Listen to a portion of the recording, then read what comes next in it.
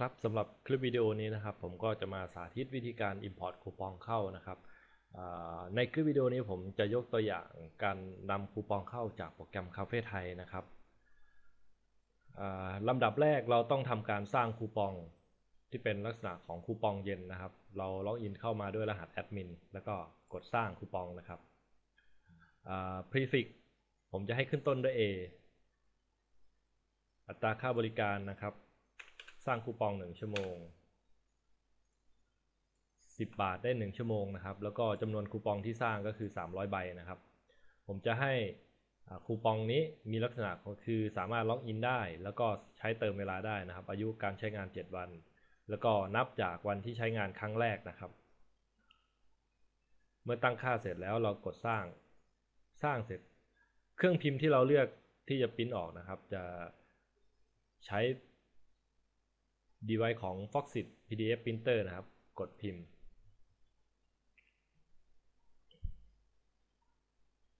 รอสักครู่นะครับอ่ามันจะถามให้เซฟ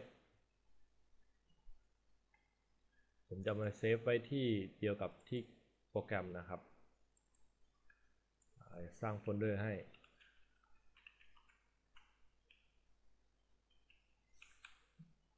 เป็นคูปอง สร้างโฟลเดอร์ C 10 บาทผมแนะนำนะครับ ควรที่จะตั้งชื่อไฟล์ให้ให้รู้ว่าเป็นคูปองลักษณะไหนนะครับเป็นอย่าง C10 นี่คือเป็นคูปองชนิดคูปอง 10 บาท รหัสที่ทำการเจนออกมาก็จะเป็นขึ้นต้นด้วย A 1 0 6 0 1 ถึง A หนึ่ งศูนะครับ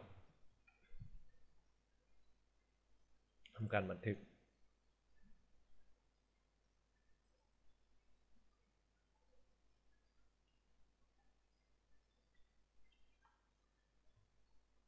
พอบันทึกเสร็จเรียบร้อยแล้วนะครับ เราก็ทำการแปลงไฟล์จากไฟล์ PDF ให้เป็น text นะครับ โดยใช้ Acrobat Reader นะครับทำการ save as Arthur Text ก็เซฟไว้ที่เดียวกันนะครับ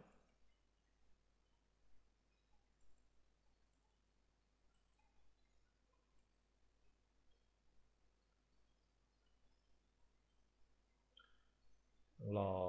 แปลงไฟล์สักสักครู่หนึ่งนะครับ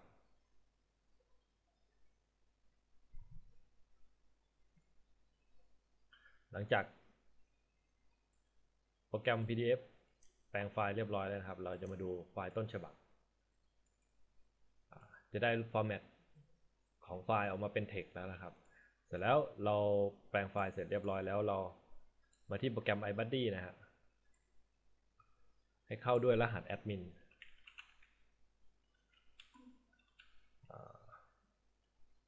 pass หนึ่ง อันนี้พาร์ทเปลี่ยนไปแล้วนะครับ ปกติจะตั้ง default เป็น 1 2 3 4 แล้วมาที่หน้าตั้งค่านะครับ แล้วก็มาที่ import คูปองเราต้องการ import คูปอง1ชั่วโมงนะครับ เราเลือก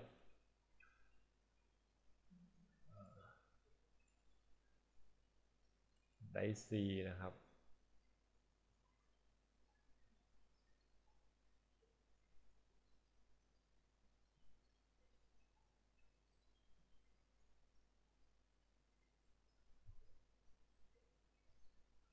C โปรแกรมไฟล์ Buddy อ่าdouble click นะครับ แล้วเลือกไฟล์ที่เราทำการแปลงไฟล์ออกมาแล้ว จะเห็นได้ว่า คูปองที่เรา Export ออกมานะครับ จะเป็น A 0 6 0 1นะครับพาร์ท1 8 4 2 5 6 ซึ่งตรงนะครับ แล้วก็มาดูลำดับสุดท้าย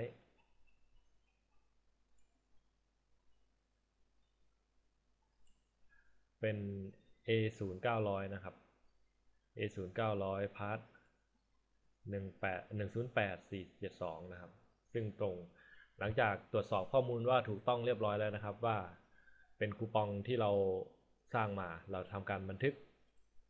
บันทึกเสร็จจะเห็นว่า Job ID ตัวนี้ถูกเปลี่ยนไปแล้วนะครับ ถ้าไฟล์ไหนที่เคย Import เข้าไปแล้ว ตัวเลข Job ID นี่คือมันจะ ถ้าไม่เปลี่ยนแสดงว่ามัน Import ไม่เข้านะครับ หลังจากเรา Import เข้าไปแล้วเรามาตรวจสอบ ตรวจสอบนะครับว่า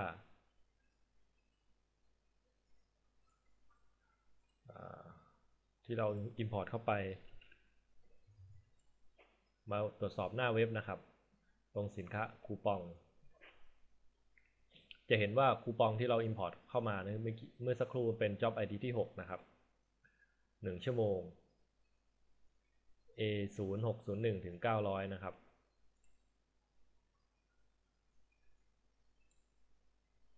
ซึ่งถูกต้องนะครับ ถ้า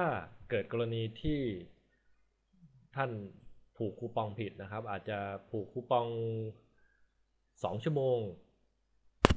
แต่ว่าคูปองที่เราเจนออกมาจากคาเฟ่ไทยนั้นเป็น1ชั่วโมงครับ แต่ว่า เราผูกคูปองผิด เราก็สามารถทำการลบคูปอง ตรงนี้ออกได้นะครับ Job ID ที่เรา Import เข้าไป แล้วก็ทำการ Import ไฟล์เข้ามาใหม่นะครับ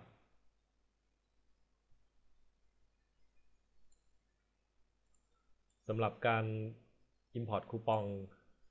อ่าก็มีเท่านี้นะครับ แต่ อีกอย่างหนึ่งนะครับ เกิดถ้าเกิดกรณีที่คูปองที่ท่านสร้างออกมาแล้ว มันมีปัญหาไม่สามารถที่จะ Import เข้าได้นะครับ เนื่องจากเกิดเกิดจากปัญหาในเรื่องของ Windows Mo มันจะทำให้การแปลงไฟล์เซฟจากไฟล์ PDF เป็นไฟล์ text ตรงนี้นะครับ format มันเพี้ยน ก็เลยจะทำให้ไม่สามารถอ่านไฟล์ เข้ามาตรงนี้ได้นั้นวิธีการแก้ไขนะครับ ให้ run ไฟล์นี้นะครับไฟล์ convert ซึ่งเป็นไฟล์สำหรับแปลงไฟล์ PDF โดยเฉพาะนะครับ ถ้าเป็น Windows 7 ก็ให้เลือกไฟล์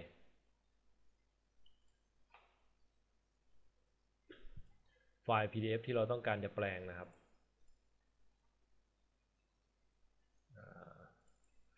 เดี๋ยวผมลอง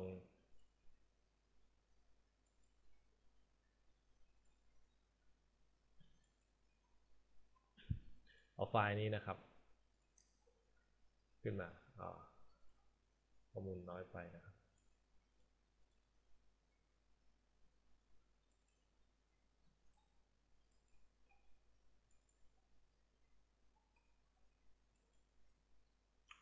อาจจะเอา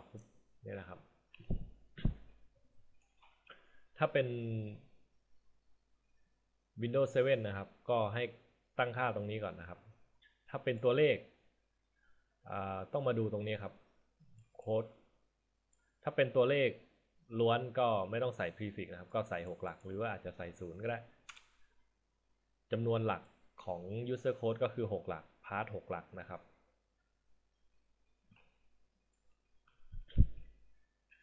ถ้าเป็น Windows XP ให้ทำการกด Ctrl A ตรงนี้เนาะให้ เกิดเคอร์เซอร์แล้วครับ กด Ctrl C เพื่อทำการ Copy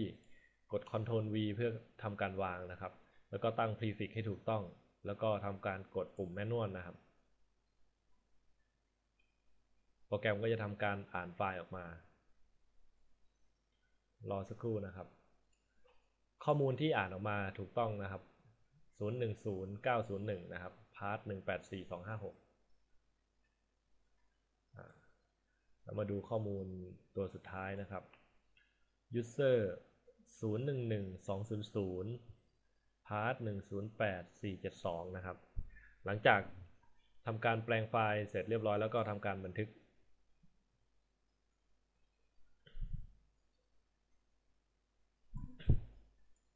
เมื่อบันทึกเรียบร้อยแล้วนะครับ ก็ให้มาดูที่ไฟล์ ไฟล์นี้จะถูกเซฟในตำแหน่งเดียวกันที่กับ เรารันไฟล์ converter นี้นะครับ รูปแบบไฟล์จะเป็น format อย่างนี้นะครับไม่ได้ format นี้แล้วเราก็มาที่โปรแกรม ผมจะสาธิตลอง import เข้าคูปอง 2 ชั่วโมงนะครับ แล้วก็เลือกไฟล์ที่ได้ดีนะครับ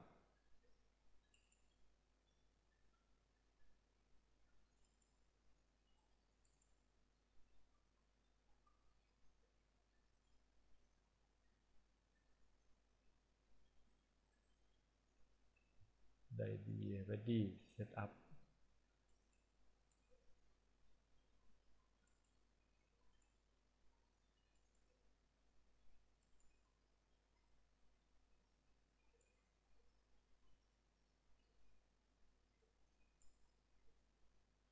เรามาที่ id setup อะมาอยู่ไหนวะ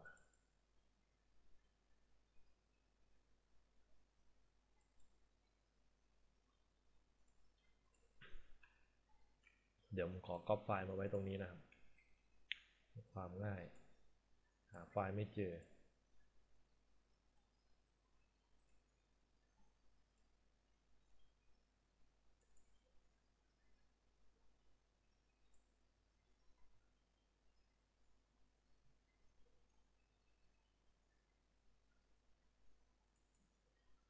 คูปองอ่า รันนะครับ ก็อ่านไฟล์ขึ้นมาได้นะครับอลองแปลงไฟล์ที่เป็นที่เป็นตัวอักษรดูบ้างนะครับ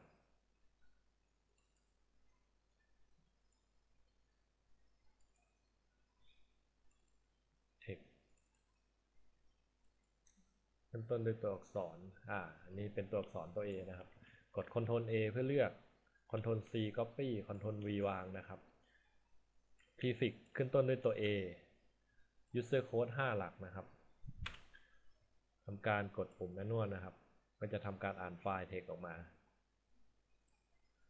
เห็นว่า A 0 0 0 0 1แล้วครับ part 0 2 4 5 3 7 ถูกต้องนะครับ แล้วก็ทำการเซฟ เซฟเสร็จเรียบร้อย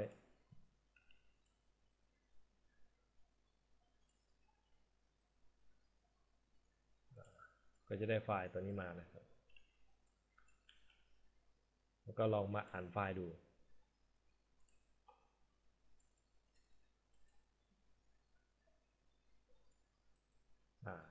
นะครับ ไฟล์ text ตัวนี้ นี่ก็เป็นวิธีการแปลงไฟล์จากไฟล์ PDF เป็นไฟล์ text นะครับ ซึ่งาทางเราได้ทำทูลออกมาช่วย